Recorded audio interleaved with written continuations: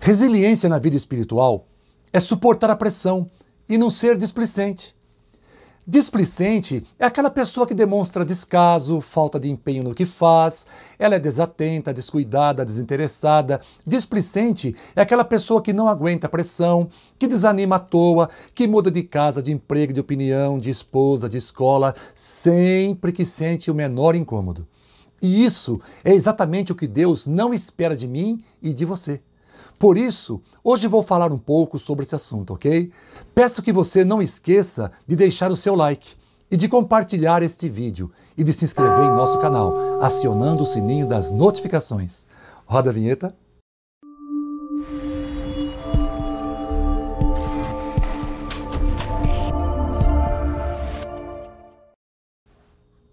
A palavra de Deus diz em Tiago, capítulo 1, versículo 12: Bem-aventurado o homem que sofre a tentação, porque quando for provado, receberá a coroa da vida, a qual o Senhor tem prometido aos que o amam.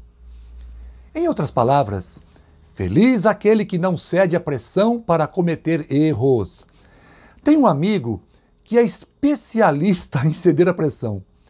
Acho que no dicionário dele não existe a palavra perseverança. Ele é inteligente, tem boa escolaridade, é habilidoso, mas não suporta a menor pressão. Desanima por qualquer coisinha. Tudo deixa ele depressivo. Basta perceber que terá que suportar um probleminha aqui e outro ali para ele fazer as malas e ir embora. E como tem gente assim por aí, não é mesmo?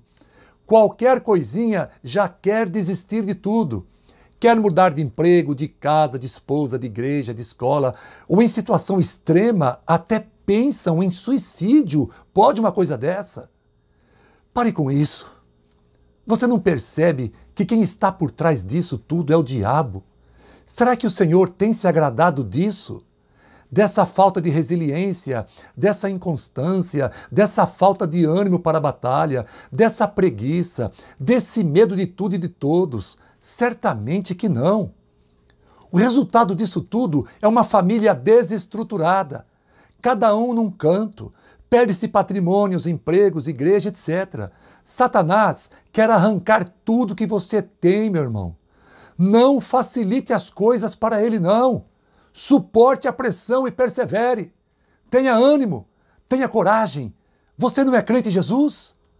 Deus te colocou em algum lugar ou te confiou alguma coisa, lute por isso. Se não tiver forças, clame ao Senhor.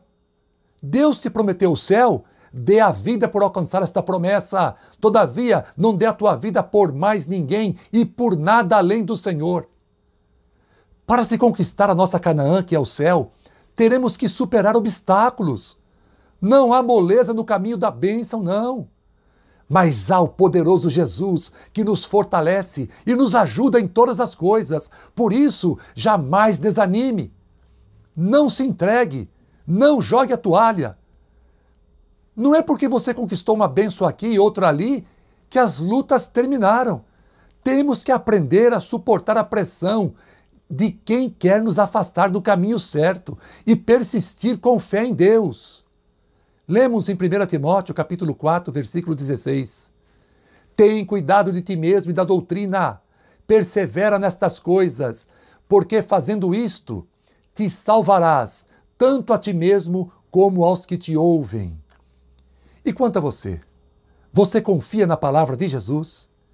Ele está te orientando a não ceder à pressão de desistir de tudo, pois mediante a confiança em Sua palavra, o milagre vai acontecer em tua vida.